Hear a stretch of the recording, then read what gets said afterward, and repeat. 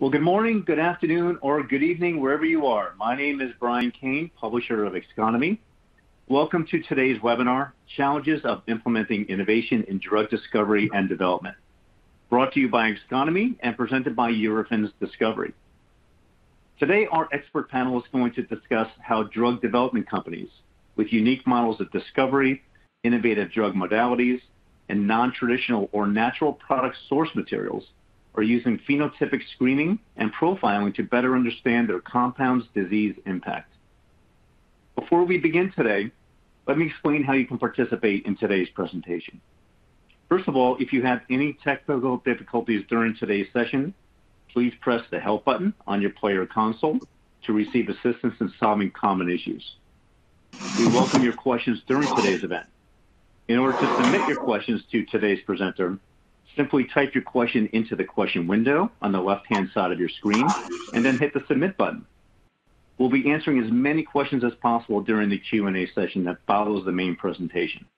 But please feel free to send in your questions at any time, and we'll add them to the queue. If at any time you're having audio difficulties or difficulty advancing the slides, simply hit your F5 button to refresh your webcast console. And also, please be aware that today's sessions are being recorded and will be available on Xconomy's website, xconomy.com, beginning tomorrow. You'll be notified by email when the on-demand version is available. So without further delay, I'd like to hand it off to today's moderator. Dr. Allison O'Mahony is Vice President of Translational Biology at Eurofins Discovery.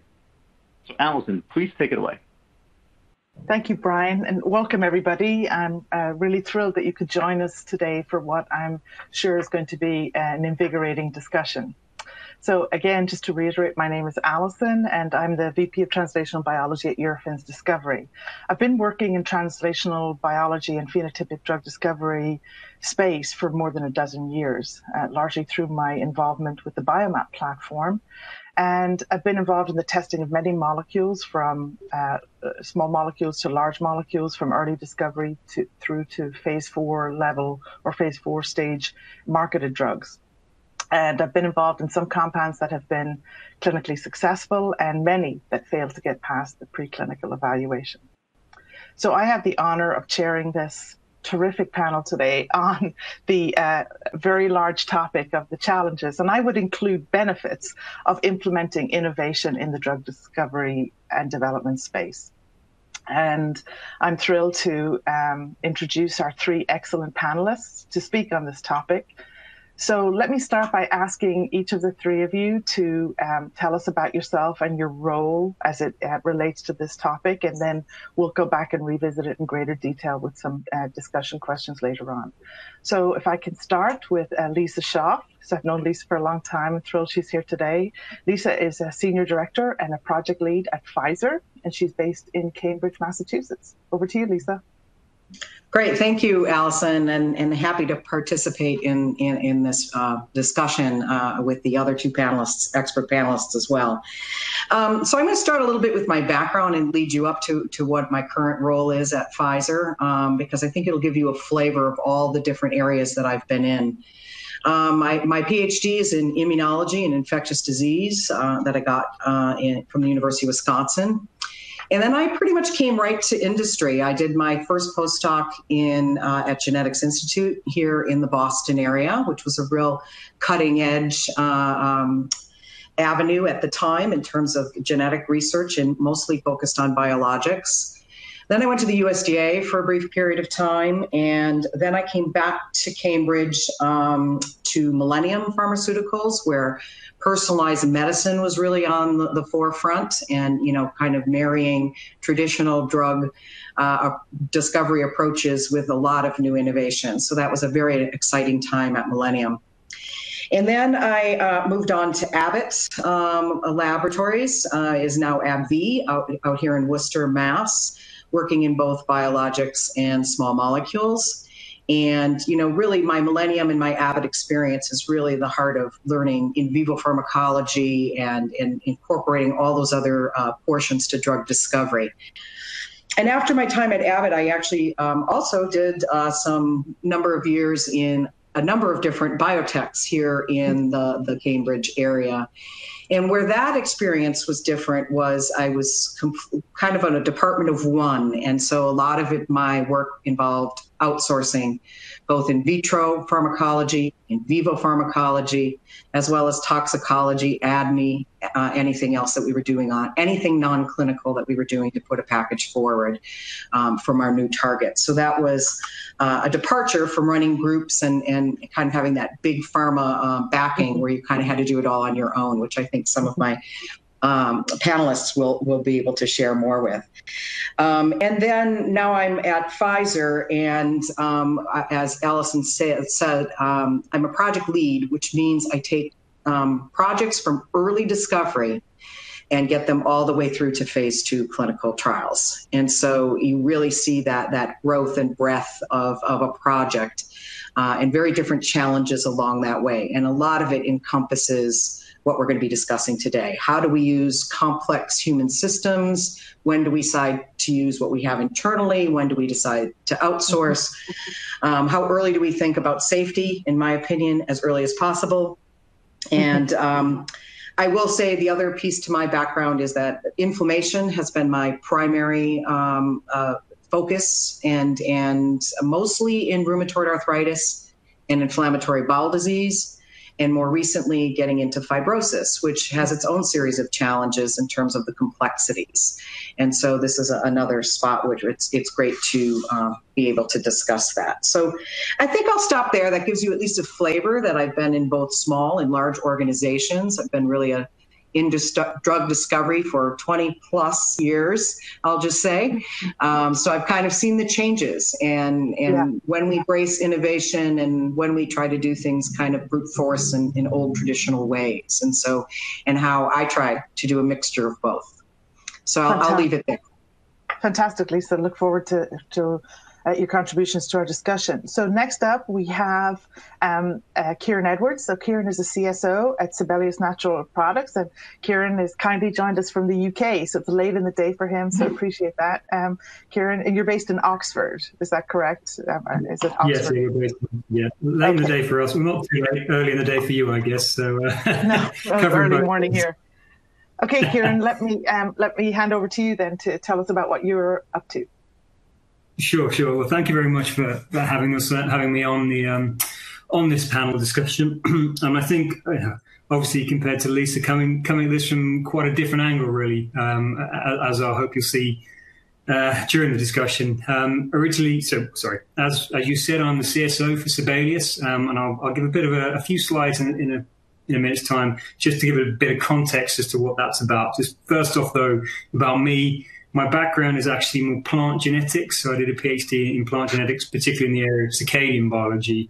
Um, but then moving through there from postdoctoral research in academic settings and then through into in industry, uh, working more in a systems biology environment, um, coming from a biologist perspective on there, but they're really trying to look at how we can integrate genomics, metabolomics, transcriptomics data sets together to really get mm-hmm. an understanding about complex systems, um, which I think, you know, given the topic of what we're talking about now, it is very much on point, um, and makes sense, particularly with certain approaches we, we want to take there. Um, so yeah, I've got a number of years experience in industry and academia on there, and now I've been with Sibelius for about the past three, three and a half years now. Um, so it probably makes sense to give a bit of a, a background to Sibelius and and obviously, we're talking about drug development here and innovation in drug development. But as was mentioned in, in the prelude, um, there's this sort of consideration of, of, natural products. And that's very much where Sibelius is coming from, in that we're looking at natural products, extracts from plants, etc., and, and what their role can be in, in supporting human health. Um, so we originally spin out from the University of Oxford. Um, and really, as I said, trying to develop natural products which have got consumer health benefits. So we're not looking particularly in disease states per se. It's much more about supporting health in, in healthy consumers there. And really, we feed into the, the supplements industry. So, you know, as you can see, it, it's a reasonable size industry. We're talking about sort of you know, 100 billion um, industry. Now, obviously, that's you know, order of magnitude smaller than pharmaceuticals. So clearly, with that goes that you know, we'd have to be, shall I say, slightly more frugal in our innovation process as you might be able to be in, in a pharmaceutical setting. So that will definitely influence uh, my take on some of these discussion topics we've got today. Mm-hmm. But really, yeah, we're talking about natural products and developing those, which are, you know, we know there's a diverse, you know, a real diverse chemical structure and diversity present in nature, which can have influence on on, on biology um, in, in, terms of you know health, etc. Um, and our challenge is really to try and understand that and, and really identify interesting extracts and characterize them. And it's worth mentioning as well that we're dealing with typically with complex extracts. So it's not going to be a single compound, single target type interaction that we might be looking at in many drug development uh, processes. We're talking multiple compounds interacting with multiple different um, targets.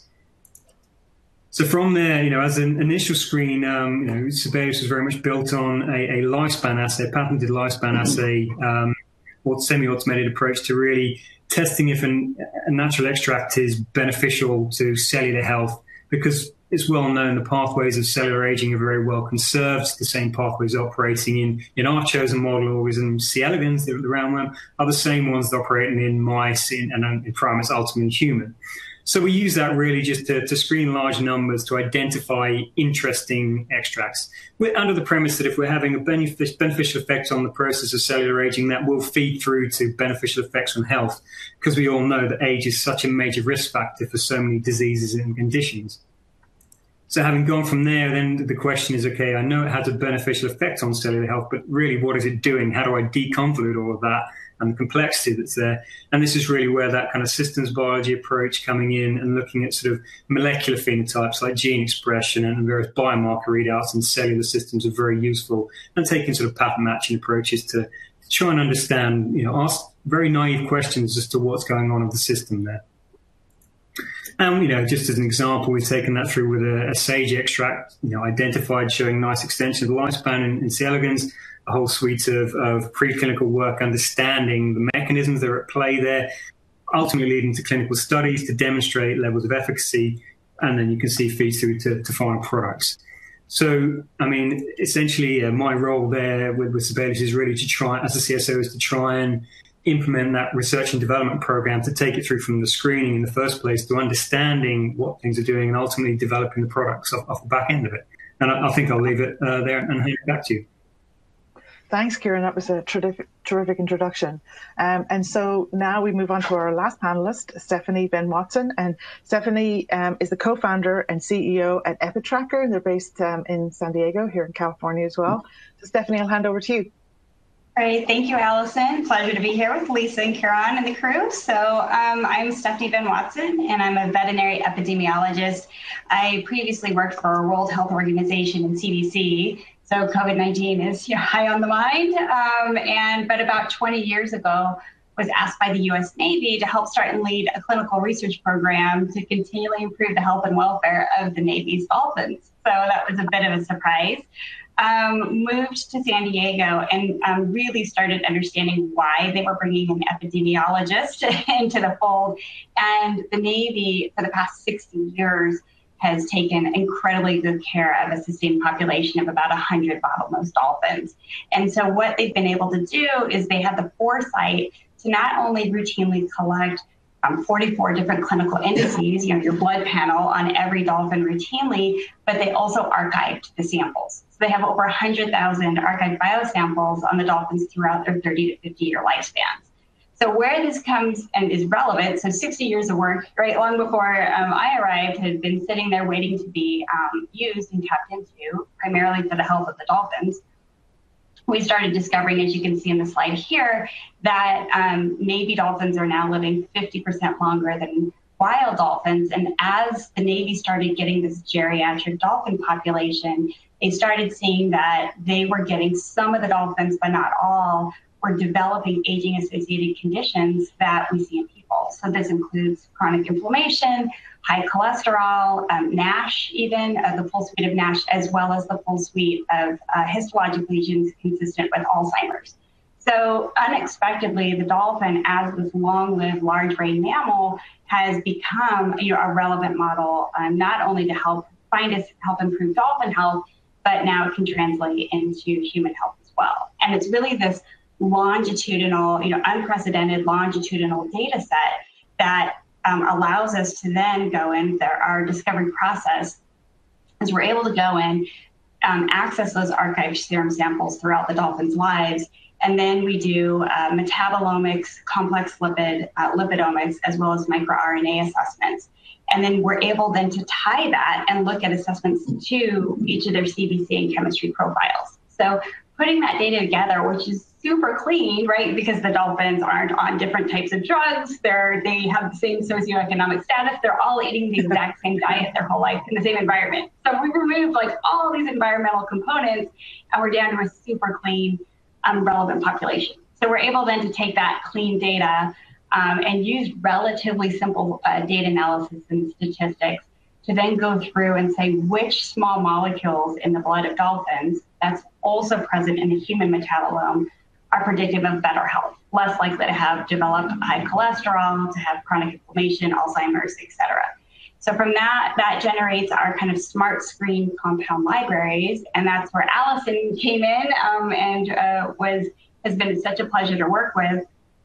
Where then we could then take pure forms, uh, synthetic forms of these um, narrowed down molecules, and then start running them through Biomap and do we basically start with a phenotypic, right, a phenotype of the dolphin, and then move it to the phenotype of the human cell system. And so from there, we can say, okay, this molecule predicts lower inflammation in a dolphin. Does it do that? Is it active in doing that in uh, human cell systems? So once we're able to show that, as well as we take advantage of this platform to do um, uh, to compare to others in its class, as well as to start understanding mechanism of action. We then move in vivo, um, do the safety studies, and that is now resulting in um, our first um, natural supplement because the, um, the first molecules are all natural, and that's coming out as Fatty 15 um, next month. So excited to get that to market. Um, we just published it as potentially the first essential fatty acid to be discovered in 90 years um, for wow. people. And the fact that the dolphins could help land this discovery for us is fantastic. And then, just as importantly, we're then taking those natural scaffolds and working with them in the lab mm-hmm. to analog and optimize them. So we'll talk about during the discussion about how to combine that kind of traditional versus innovative approach um, to help us get toward drugs. Um, one of the ones that we're working on now is EDDI 59, which the Army's funding uh, to develop um, in support of uh, treating uh, idiopathic pulmonary fibrosis. I'll leave it at Terrific. that. Thanks, Stephanie, and congratulations to anybody who had geriatric dolphins on their bingo card. Yet another one of those stories, you know. Yeah. so, um, uh, just to kick off uh, the discussion, I just have a couple of comments really to set my perspective on this because I really want to hear from you guys, and you bring an enormous scope of, of experience and expertise to this to this topic. So, um, uh, the, on the first line of the FDA approval pages, you see the words "innovation drives progress." Um, I don't know if that's an order or a request from the mm-hmm. FDA, but it's it's clearly apt to our topic discussion today. And we have seen enormous advances in the development and impl- implementation of innovation in drug discovery, and this has resulted in generating considerably, I mean significantly more, and I would say better quality data in a shorter time frame.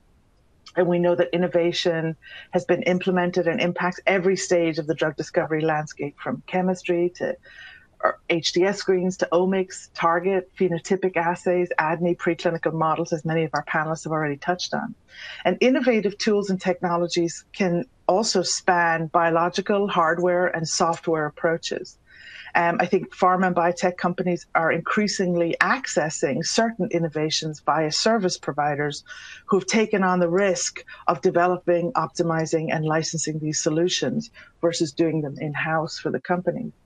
And additionally, I think this, for me, this has probably been one of the most significant uh, uh, positive impacts of innovation, and that's been the advances in data analysis. Um, in my organization, Eurofins Discovery, we have prioritized innovation across our portfolio, including new phenotypic assays under development for the current COVID 19 related acute respiratory disease space, and new ways to use large databases for machine learning approaches. So, all of this innovation, what's the measure of its success? or, or lack thereof. So, regardless of whether this is measured in the scientific or the regulatory spaces, I think one key metric of this is the record number of drug approvals, new drug approvals that we've seen in recent years. Not only are there more drugs being approved, but according to the annual reports, reports from the FDA Centers for Drug or Biological Evaluation and Research, CDER or CBER, there are more first in class drugs being approved. There are more unmet or orphan diseases being addressed. And there is more and, and diverse uh, accelerated re- regulatory processes. So to date, this year in 2020, which has been a challenging year in, in, in, across the board, there have already been 40 new drugs approved, 40 novel drugs approved. In 2019, there were 48 approvals, and these included 42% first in class drugs. This is really remarkable advances that we're making. And in fact, the past four years have shown back to back uh, uh, record setting numbers of approvals that have exceeded the decade average of 37 approvals. On the biologics front, innovation is also really being realized with the current 2020 BLA approvals, including a new CAR T, new vaccines. Clearly, we all see the news that vaccines are front and center of innovation at the moment, and a, a, co- co- a coagulation factor for hemophilia. So, definitely, innovation is delivering success in drug discovery. But are things now so advanced that further innovation is no longer beneficial or cost effective? Well, I think we know that the regulatory failures um, uh, on efficacy and safety are still unacceptably high. So there's definitely more work for us to do. So, what I would like us to discuss today is how you, at the forefront of, of of drug discovery, how you view or implement or prioritize or question or query uh, innovation in your work stream. And so um, we have some leading questions or, or, or, sort of more open prompts here that we'll take first. And then later on, I would uh, love to take questions from the audience. So please submit your questions on the Q&A box that's um, um, uh, shown on the bottom of your screen. And we'll uh, devote the last 15 minutes or so of the hour to, to taking some of those questions. So, um, Lisa, I'm going to start with you and then move to Kieran and then move to Stephanie. But again, you know, please feel free to interject or, or, or comment or pass. um, so, the first prompt is when you're considering conventional versus innovative approaches, how do you weigh up the challenges versus the benefits? What kinds of criteria do you factor into your decision making? So, Lisa, I'm going to throw to you first. Okay. Um, yeah, it's a great question. One I've grappled with for over the many years at the very different organizations. Um, particularly the larger organizations like to do everything in house. Yeah. And uh, you know, build all that in the house. I'm sure you've you've seen your challenges in working with the, the larger organizations from that perspective. But I think what one needs to balance as a project lead, um, it's both time and money, um, and mm-hmm. the complex systems are not so easy to just get up in, in a, a snap of a finger. You know, a lot of the different systems um, that you need to use and, and, validate. I mean, that's the other other key. Mm-hmm. You know, that it needs to have a database of, of known drugs that have been through. How does it perform? How robust is it? Those are always my considerations. Do I think there are people in house that could develop all sorts of assays? Yes but that is a long long process. And so it's mm-hmm. it's that value of what can you um, get for for a faster time. And also i never go into any experiment without some expectation of the result you know when i have some of the the uh, younger folks on the team come up and say well let's just see what the data says it makes yeah. me cringe because mm-hmm. i think you have to have some expectation of what you uh, based on your hypotheses and other work of what you're going to see, but then you'd also want to have some extension. So then you can feel good that you you you are doing or changing that dynamic like you think you are, and then you're going to potentially learn new things on the way. Mm-hmm. mm-hmm. That's usually how I pitch uh, the cost. You know, like we could do this, and it could take us quite some time to kind of march through all of these different cell assays. But from this panel, we can get a lot of things that we maybe didn't expect to find, and then we can explore from there. So it's that balance of what you expect and what you how you want to extend. And what I like about uh, this, you know, panel type approaches as well is that it's more unbiased. Because otherwise, we as immunologists, especially, we pick apart our T cells and our monocytes and we do everything kind of individually. Um, where this way we're looking at something in a more complex system.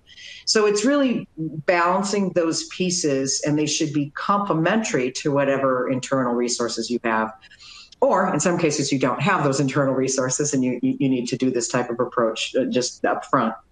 I think the other part that I've always liked is, as I mentioned in my introduction, safety is very important to me. And the sooner you know at least what signals you should be looking at, um, you know, based on knockout data or whatever from a target you know, or a target you don't know in a phenotypic approach. Okay, these are the benefits. I see that, but ooh, now it's hitting endothelial cells and things like that.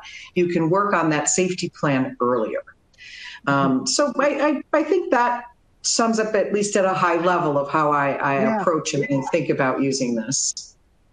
Terrific, terrific. And I think we'll get back to the, I would hope to get back to the safety question from another perspective, maybe later on. So so thank you for bringing that up. Um, Kieran, can we um, ask you again? You know, how do you weigh the challenges, the benefits? Sure. Nice, mm-hmm. what does it, yeah, put no, it nice to have versus need to have? I think. yeah. I think uh, I'll probably mirror some of what Lisa said. Um, yeah, I'm more open to a bit more black box than, than Lisa. It seems maybe uh, I'm more in line with some of the, the people that you, making you cringe. Um, but I mean, I guess first off, when we're talking about this uh, you know, conventional approach versus an innovative approach, it's probably worth thinking about defining what we mean by innovative. Because mm-hmm. you know, in its strictest sense, if it, for something to be considered innovative, it's not just novelty about it. It's the fact that you, you've got to create and you have to realize some value from it, and whether that's time or money, whatever it happens to be. That's that's kind of a key point to hear. Um, so, as I said, you know, just being novel isn't necessarily innovative, um, mm-hmm. and therefore, if you're thinking about how you how you manage that risk uh, or the balance between them, obviously, if something's conventional approach, you've got a lot of empirical data, a lot of experience there. You can manage that risk. You know, you've got a good idea of what that risk level is. Um, so you can kind of manage those risks through your portfolio as long as your portfolio is broad enough and you've modeled the risk properly. Um, you can kind of take it there. Whereas, you know, as Lisa was very much alluding to, there's there's a large number of unknowns when you start going into into something more innovative, particularly if it's not been proven. Um, so really it's going to depend a little bit on your on your risk attitude, but some kind of blend between the two is probably quite important. Um, I mean, obviously we're a small company, so we can't have we can't afford to have a really broad portfolio. Um, so we've got to take some things we're more confident on, but you also want to place a few bets, I guess, as well. So it's kind of, but that's going to be very much dependent um, on on the uh, on the attitude of the company and, and, and the scale of the company, etc the other thing worth considering here, I suppose, is innovation is very context dependent. Um, mm-hmm. You know, as I mentioned, we're looking at um, you know, we're we're looking at developing natural products, so it's probably not quite as advanced in some areas as the pharmaceutical drug development uh, field is. So things which are seen as conventional, maybe in pharmaceutical development, could be considered innovative in our space. So taking those um, and employing them here in, in our scenario would be innovative and, and is creating value. Uh, but equally, you can take findings. You know, we touched on the importance of computing, etc. There's a lot of development going outside of pharmaceuticals that then that knowledge and that approach, those approaches are being applied in, in the, the drug development space and in the biology space. Um, so, you know, as, as, I guess the, the, the short answer is, is you're trying to blend it through. Um, the more you can gauge some understanding on the, the, the level of risk and model it, the better because um, obviously we want to try and manage that as much as possible. Uh, but yeah, I'd say it, it's a it's a balancing act between something you know you've got a good idea uh, about the level of the probability of success against how you know how likely that outcome is given the size of your portfolio versus taking more risk, but then with potentially much more reward.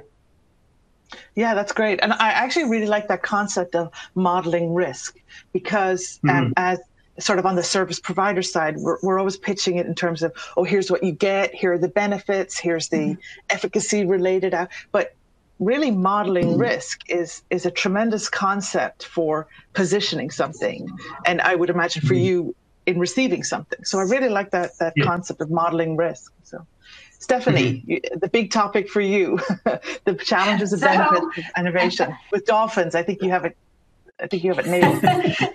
Yeah, let's start with dolphins, and then our first molecule being a, a dietary saturated fat, um, and saying that this is you know good for you. So we're we're uh, neck deep in, in innovative uh, approaches, right? So, but what's um, really interesting is again because we've been gifted this you know incredible model, you know, 60 years in the making, and all the data and the samples. Now that the technology is here, we can really leverage it. But we kind of hmm. start from the opposite end, right? So instead of starting with the target, similar to Kieran, right, is that we start we start with the dolphins with the phenotype. So it's a macro phenotype. And we're right. saying, okay, this molecule at higher levels means that a dolphin is less likely to have chronic inflammation, for example, associated with metabolic syndrome.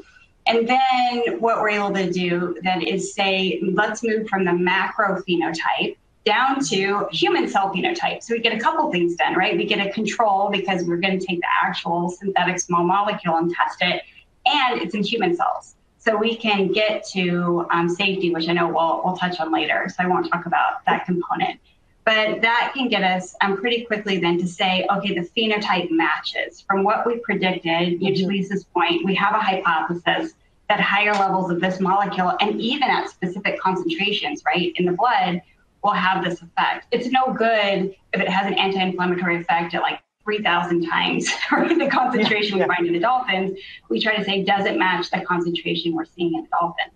And then from there, we work backward and um, using things like the safety scan 47, where we can then run it against if we see activity. Um, we now say, okay, this matches an anti-inflammatory phenotype, which we predicted. But then we could then put it up against, um, you know, 47 different pharmacological targets and to say, where's it hitting? And mm-hmm. so nature, which we've learned and everybody knows, was not made to develop a small molecule to hit one receptor, right? Right, right. It has pluripotent um, effects. And so I'm what sure learning is, is nodding frantically there. Yeah.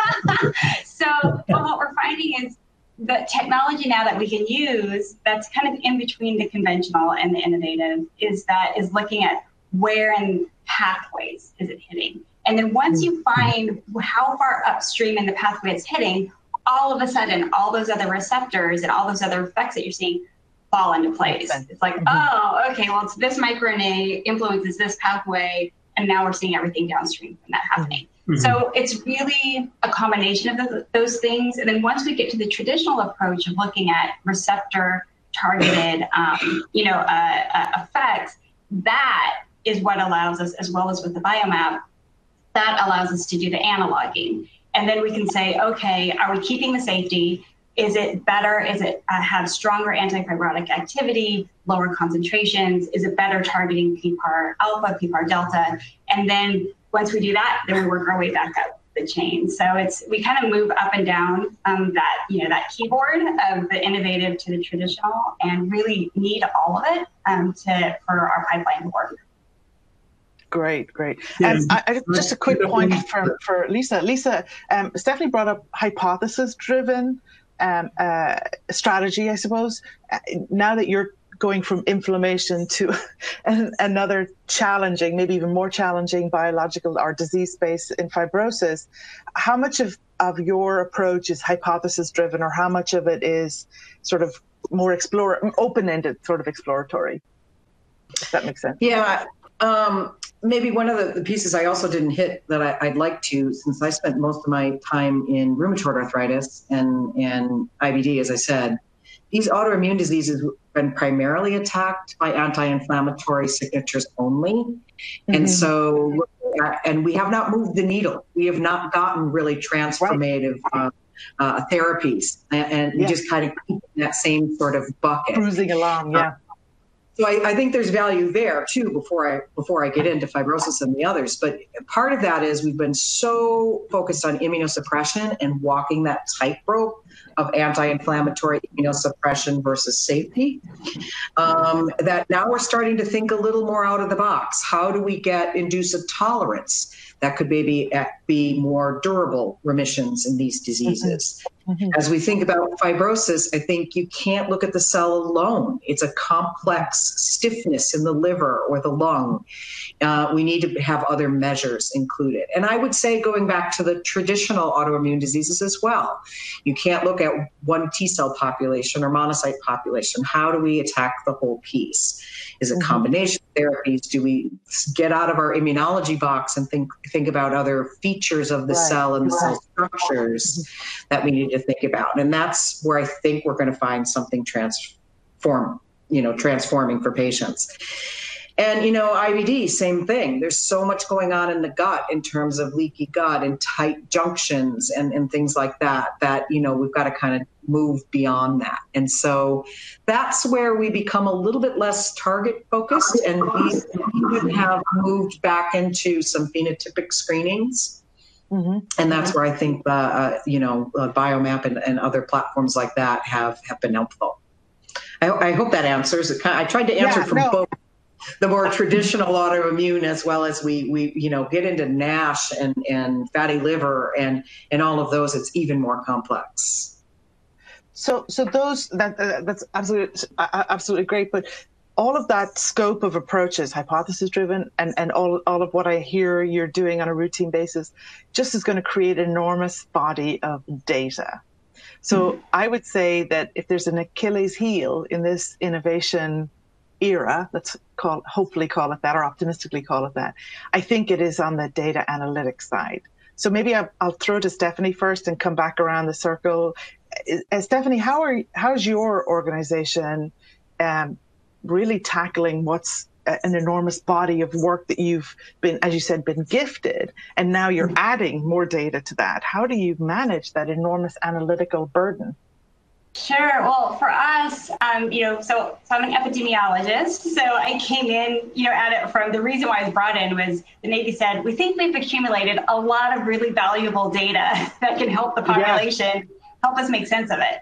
So I really came in because of the initial data question. Again, you know, we're gifted, but even though it's massive amounts of data, a, lot of the problems with data analysis is how clean it is, right? You've got so much mm. noise happening with people's lifestyles, or this is, is this model relevant? And they're, you know, they're very clean models that are mice that live for, you know, three years versus a human that lives for a hundred. So there's mm-hmm. a lot of um, differences with us.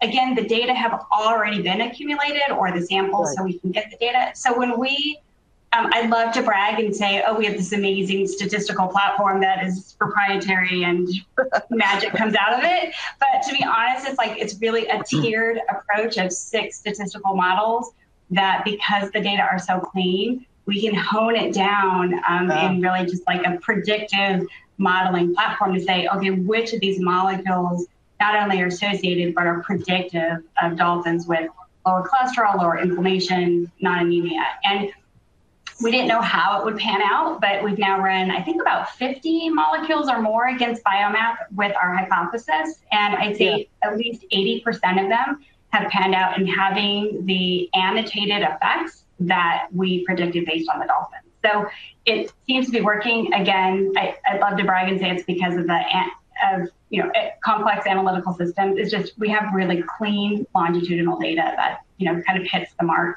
quickly. Great. Yeah, Kieran, what about you from the analytical perspective? Yeah, so I was just I was just going to say to echo Stephanie, the key point there is the quality of data in. It doesn't matter how good your maths and your you know algorithms are. If, if the data is not not good, you're not going to get any sensible answers out of it. Um, I don't quite have 60 years of dolphin data to work with, so we're not, quite on the same level there. You know, our, our kind of model. I don't think anyone else has. A little bit, a little bit than, than, than, dolphins and don't don't live quite so long. Um, but you know, there's a wealth of data out there, um, yeah. both that we've generated, what's publicly available that we try and make use of. Um, but that you know, to, to again to touch on something Stephanie said earlier, probably looking more on more on a system level, understanding the targets in, in the context of pathways and, and, patterns that are occurring there. So yeah, it's a you know we're not we're not doing anything that, that's necessarily different to what other people are doing, but it's how you how you apply the approaches and, and the data that you use that's quite important in that. And Lisa, um, how are you um, uh, or, or, your current or past organizations? How are you handling the, um, the, I suppose, I don't want to call it the risk, but, but the potential for data overload? Yeah, it's one I, I struggle with as a project lead. It's like getting single cell RNA seq and cell assays and patient biopsies and you know trying to put that all together and not just see what you want to see. You know, that I, I mm-hmm. noticed that as a mistake for people. Good like, oh yeah, yeah, it's moving this pathway. That's what we think, but I'm going to ignore this other part that that I, yeah. I don't know what to do. Um, right. And I think that is a struggle, and that's why you need a team with multiple eyes upon it from multiple disciplines. You know, your safety and and other considerations because they may see something that you don't. Um, so that, that that's one piece. Um, you know, at a large organization such as Pfizer, we have an entire systems immunology department. So we mm-hmm. have a lot of experts in that area to help guide us.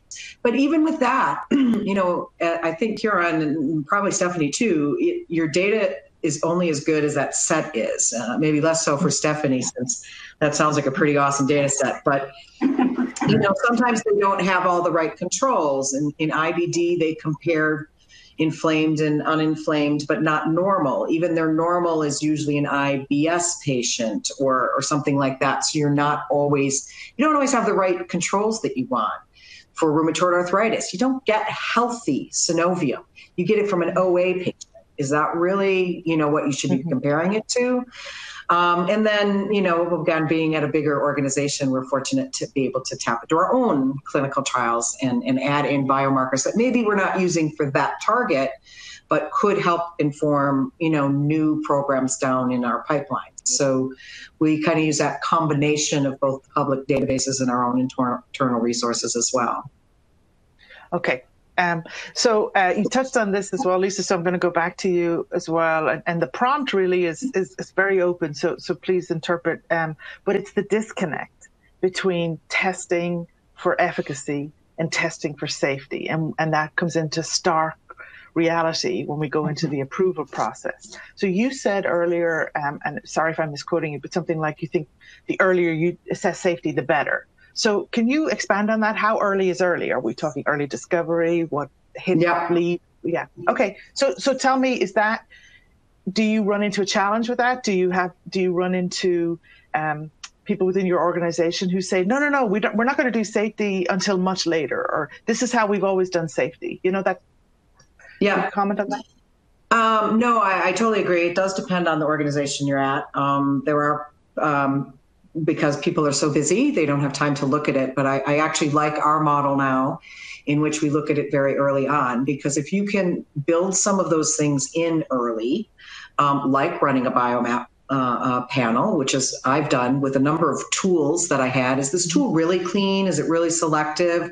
What other off-target type stuff would I be hitting? I'd like to know that. We build in sometimes readouts early in our pharmacology models, our early either acute or chronic models that we run, knowing that, okay, well, if we suppress this target, we may run into some inflammatory situation mm-hmm. in, in the gut. So let's look at that early, or let's go in with a higher dose. So you're doing those things much, much earlier. Not, not that you'll have all the answers or you're going to shut everything down, but you need to have a plan. And I think when you yeah. have a plan, that helps decide how you should execute upon that, right? Do I need a complex human system now? Is my tool too messy?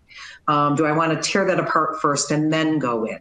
So it kind of helps set your path, is how I look at it. Yeah, that aligns very much with what Kieran said, which I'm totally stealing this phrase, Kieran, of, of risk modeling. And, and that aligns very much with what you're saying. So, Stephanie, um, um, coming from uh, your unusual source, where if you, in a way, I suppose your safety is somewhat, uh, I won't say alleviated or mitigated, but it's a little different from, you know, maybe the molecules that that uh, Kieran and Lisa are starting with. Yeah, I mean, it, it's a big benefit, right? So we're starting with what's already in us. So, and really prioritizing the ones in which we're seeing activity at the concentrations that we're seeing in, you know, in the dolphins and yeah. the people. Um, and so what we've seen, and you've seen this through the biomap screening, is that uh, it's you don't see a lot of warnings with regard to cytotoxicity, right? So we're right. seeing very clean. So then it's about how much activity are we seeing, and is it worth going after? So the safety factor gets um, kind of eased with regard to we get to address it right off the bat based upon the source of where it's coming from. We know we pre-select molecules that are not only present in the dolphins like thomasine, but we know um, you know are in the human metabolome. So with that, we're able to you know take the edge off. Where the safety part comes in is watching very closely as we analog them. so where we turn up the antifibrotic activity, you know, amazingly or target this receptor, you know, 170% beyond the positive control, then we get to what's nice is we go back to biomap and we rerun it against you know, the, the optimized analog versus the natural scaffold mm-hmm. and to say, hey, have we we gained activity? Have we lost safety? And so it's we're able to kind of fine tune those um, that optimization. Yeah, so that's really where the safety is has been most important uh, as we start analoging. Okay, so um, Kieran, I'll, I'll ask you the safety question as well, and then we'll go to. Um, there's quite a number of questions have come in from the audience, so I do want to thank them for that and, and, and give them time. But Kieran, safety for you, um, you touched on it a little earlier. When do you like to do it? Uh, yeah, well, I'll try and be as brief as possible so we can get to some of the uh, the users' questions, uh, the viewers' questions. Um, I mean, in very much the same scenario, I guess that, that we're dealing with Stephanie and, and touching on a, a, point that we, we, we touched on earlier. Um, you know, we're dealing with natural products, and in many cases, these are these are samples that have been, you know, these are plants etc. that have been consumed by humans for thousands of years. So again, you're starting with a very low risk of there being um, safety issues, and there's there's a there's obviously a wealth of, of some of the things that have been consumed there, which have different phytochemistry present that are going to have effects, you know, that are being used in traditional medicines, whether that's like Western herbal medicine mm-hmm. or Ayurvedic practices or traditional Chinese medicine.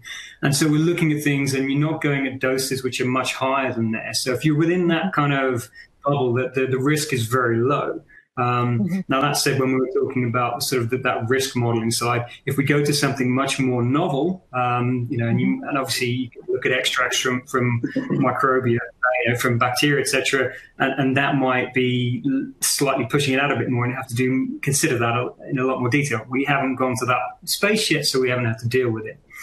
The other consideration, however, is that you know our first screen, the pre-screen I talked about at the front end of the of, the, of this sort of discussion was a, as a lifespan of So we're already inherently building in some level, you know, whole organism, whole lifespan um, assessment of what these products are doing, um, so that it's very close in there um, from the outset.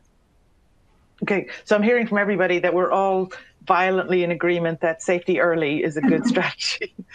okay, so um, uh, thank you all for submitting some questions. Um, so I'll go to question from Brandon, and he uh, asked, can you discuss the challenges of incorporating um, high content or high throughput screening of 3D cell culture into the drug discovery process?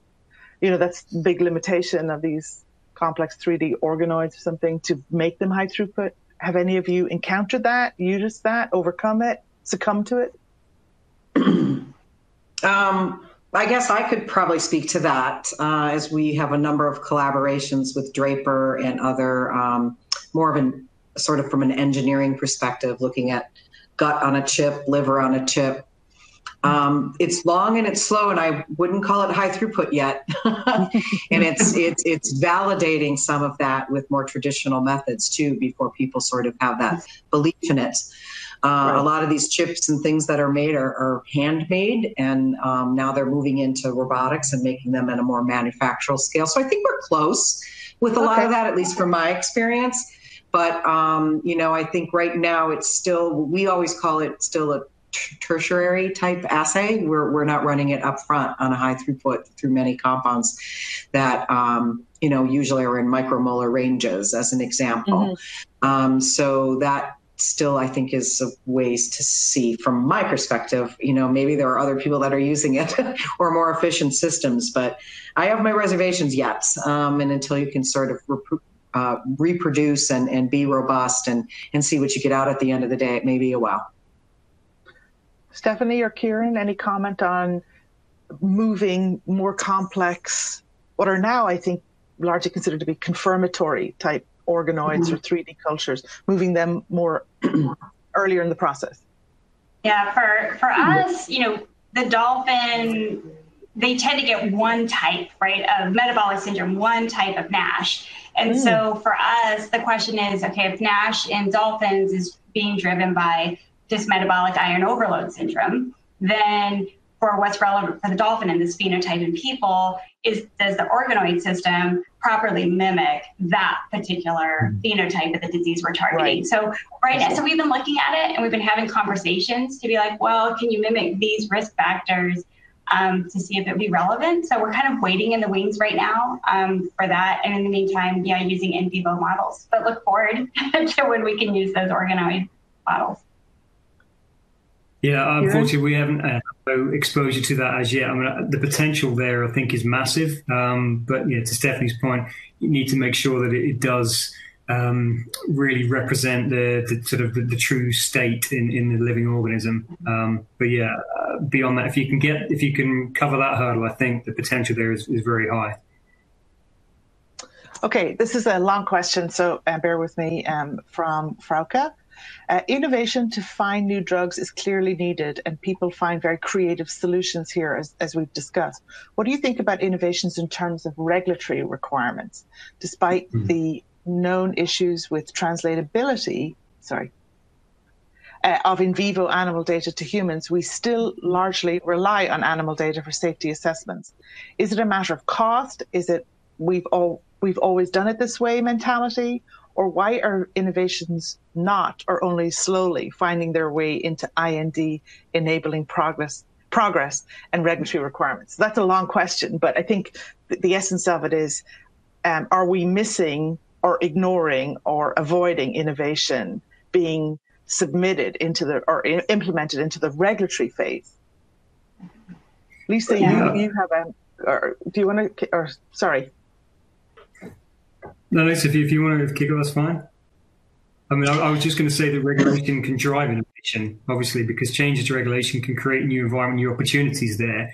Um, now, certainly, uh, there is challenges where I think uh, regulation does does introduce hurdles to it, and obviously, the regulation is is inherently going to be very conservative, isn't it? Because we touched on the importance of safety, etc. Until you can prove something is better, then you're going to stick with what you know. It's the way we've always done it, and it's very difficult to prove something's better until you start using it um, in earnest, isn't it?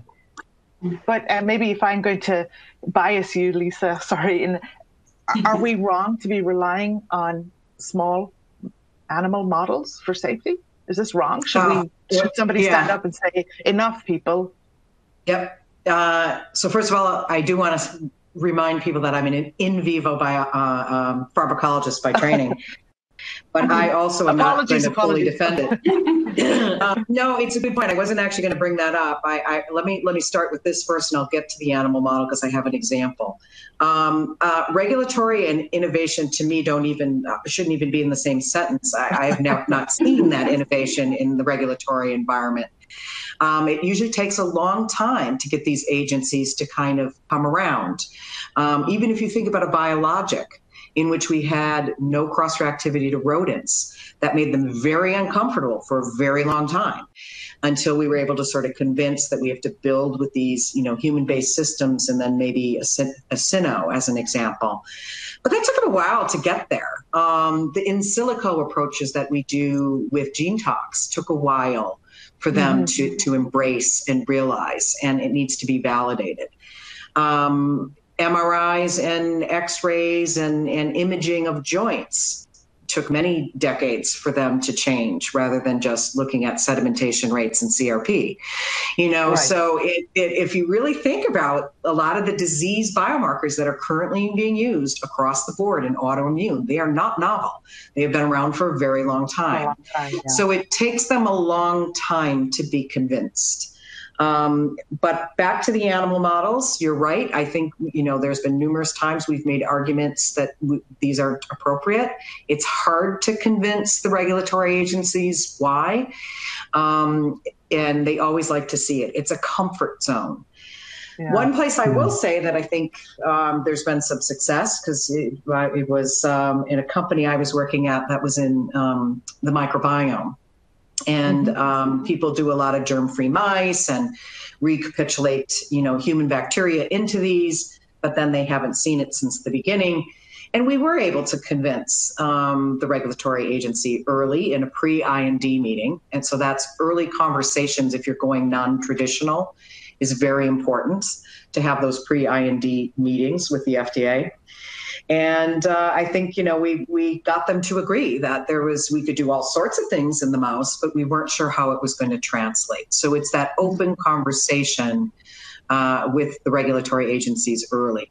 Combinations could be the same. They want to see efficacy. If two two targets you think would be good together, but you can't show efficacy with them individually, that is not going to go forward. So, yeah. That's all I'm going to say. I, I think I've yeah. said enough. Stephanie, do you want to comment on, on safety? Then I have one more question to go to before we run out of time.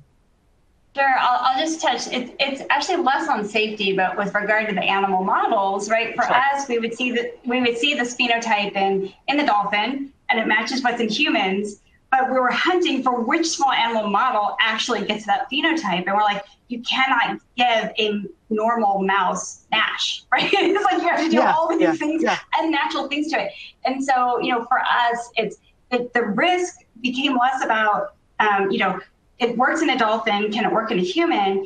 The big risk factor became is it going to work in a model that's not relevant to the phenotype and you know some for a disease that takes decades to develop and yeah. you're forcing it right it's just so for us we're just like well what happens if it doesn't work in a small animal model but every evidence from epidemiological on the human side and then supportive data on the cell and dolphin side that it should work that how many die in the middle simply because the small animal model wasn't relevant that's a very good point, and it also the the debate between small animal models for efficacy versus safety. So, mm-hmm. Um, so the last question I, I, have time for, and I do want to ask it because it's the person that uh, submitted the question a while ago.